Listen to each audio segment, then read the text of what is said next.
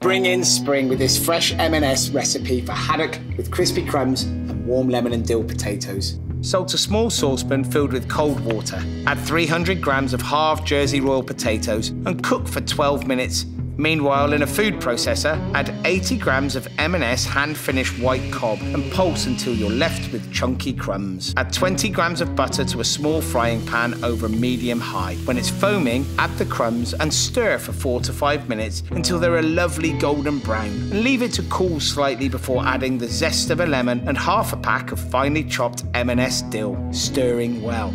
Season both sides of the haddock fillets with salt and pepper before dusting them with plain flour and shaking off any excess. Add another 20 grams of butter and a tablespoon of oil to your frying pan over medium high. When it's foaming, add the haddock to the pan and cook for three minutes on each side. Add 100 grams of frozen peas to the potatoes to warm them, then drain them through a colander and transfer to a heat-proof bowl.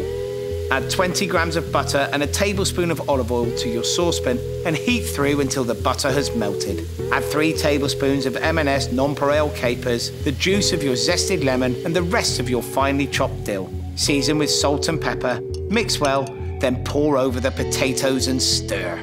Place the haddock onto plates and serve the potato salad alongside. Sprinkle the crumb over the top of each fish, adding half a lemon to each plate. Then enjoy every bite of this seasonal and super tasty meal.